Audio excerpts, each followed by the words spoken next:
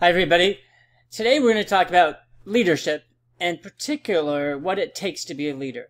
There's many different kinds of leaders. Remember, a leader could be good or bad, but still be a leader. A leader is somebody who gets people to follow them. And so even some of the worst people in history were leaders in a sense because they had people follow them. Which leads us to what causes people to follow leaders. And conversely, what traits does a person have or strategies, characteristics does a person have that lead them more predisposed to be a leader than not? There's numerous books that have been written about leadership.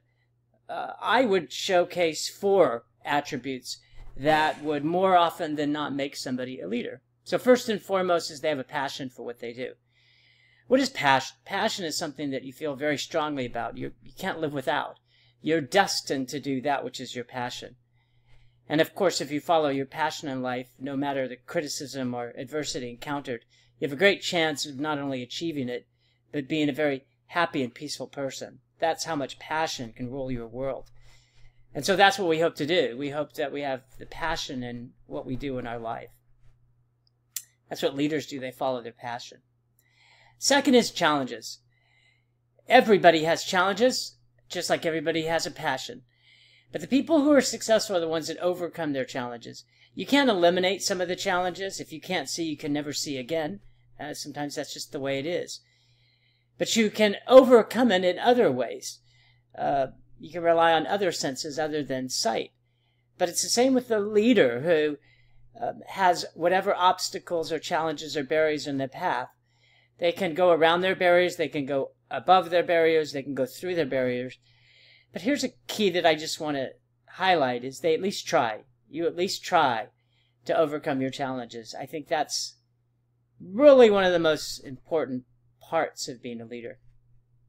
Three, go down swinging. One of my favorite expressions, my, my friend John, John Ellis, and he says, swing for the fences. He used to play baseball. Same kind of concept for me. Go down swinging, which means that I don't care what I have to do. Legal, of course. Ethical, of course. Moral, of course. But outside of all of those areas, I intend on making a success. No matter what I have to give up, time, money, even relationships, I will make this work. So you go down swinging for what you believe in. And that's an expression, so we don't mean that you, you become violent. We mean that um, you're willing to sacrifice anything and everything to make that which is your passion come true. The last thing that leaders, those who become leaders, believe in, think in, uh, try to try to achieve is this thing called legacy. They build a legacy. It's not that you just want to build something that's going to last today. You want to build something that's going to last a lifetime. And that is, in so many ways, what we're trying to do as a leader. We want to build a company. We want to build a country. We want to build a world. We have such a great perspective on what we want to do. And that's what leader does. So, the four aspects that I think make a leader are, are more predisposed to be a leader if you have these characteristics are that you have a passion for what you do, and an all encompassing passion. That you overcome whatever challenge is in your path. It doesn't matter what it is, you're going to overcome those challenges. That you're going to go down swinging for what you believe in. And last but not least, you're certainly going to be cognizant and work towards creating a leg legacy, something that lasts. Hope that helps as we continue on our discussion of leadership, and I certainly look forward to our future interactions, everybody. Enjoy the day.